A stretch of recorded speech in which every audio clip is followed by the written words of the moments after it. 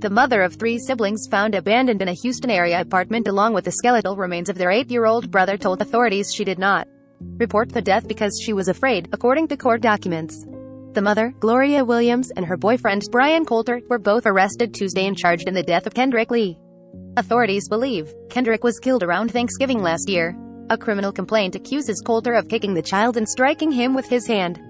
It says Coulter intentionally, knowingly and recklessly caused serious injury to Kendrick, resulting in his death.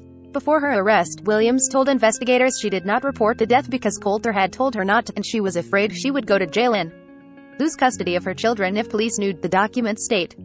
Attorneys for Williams and Coulter did not immediately respond Thursday to a request for comment. After Kendrick had been beaten, Williams went into the room and saw him lying on the floor, NBC affiliate KPRC of Houston reported after a probable cause hearing, the other three children, ages 15, 10, and 7, had witnessed the attack, and Williams made them leave while she fought with Coulter, the station reported, citing court documents that were read aloud. The 7 and 10-year-olds told authorities they saw Coulter use his fist and feet to hit Kendrick on his face, buttocks, back, legs, and testicles, according to the court documents. Brian Coulter continued to stare at Kendrick as he kicked him. The 7-year-old said Kendrick's eyes were black and he stopped blinking during the assault, the seven-year-old said they pulled back the covers and saw Kendrick was really dead and saw roaches everywhere on him, court records state. The 15-year-old said Williams moved out of the apartment months after the fatal beating. In March, court documents state. Authorities were called to the apartment Sunday after the 15-year-old contacted police and said his brother's body was in the room next to his. Harris County Sheriff Ed Gonzalez said the boy led officers to a crime scene that shook even the most seasoned investigators because of circumstances too horrific to be real. The dead child was found underneath a blanket. In the midst of the darkness and this horrific situation, I am so glad that this 15-year-old finally reached out for help, Gonzalez said at a news conference.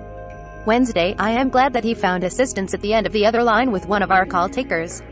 And I am comforted to know that when he opened the door, and there was a Harris County Sheriff's Office deputy there, that they could finally receive the care and protection that they needed for so long. According to Gonzalez, the apartment was unfurnished, full of roaches and flies and had soiled carpeting. The three children were thin, malnourished and hungry, authorities said. Family members of Williams said they had no idea Kendrick was dead and the other three children had been abandoned. They told KPRC that Williams was estranged from the family and only reached out when she needed money. Every three to six months she has a new phone number, said cousin Yasmin Krieg. Every three to six months she's moving apartments, so we never have a solid address for her. Krieg said when they could reach Williams and they would ask how the children were, she would tell them that everyone was fine. She kept saying they're okay, they're in school. Anytime we did go help and ask where the kids at, she would say, oh, they're in school. We never had an apartment number, Krieg said. She would always be like, I'll meet y'all at the front of the apartments. We didn't think anything of it. The family said Williams has a total of six children ranging in age from 7 to 17 but did not have custody of her two girls, who were not in the apartment. Kendrick and another boy had autism, the family told the news station. According to Krieg, Kendrick was mostly nonverbal. My mama has been asking for Kendrick since the day he was born and she kept telling her no, Krieg said. We knew that with all of these kids, eventually, she was not going to be able to be the best parent she could be.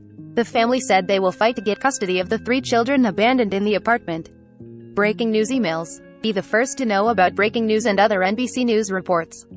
Sign up. This site is protected by RECAPTCHA Privacy Policy Terms of Service.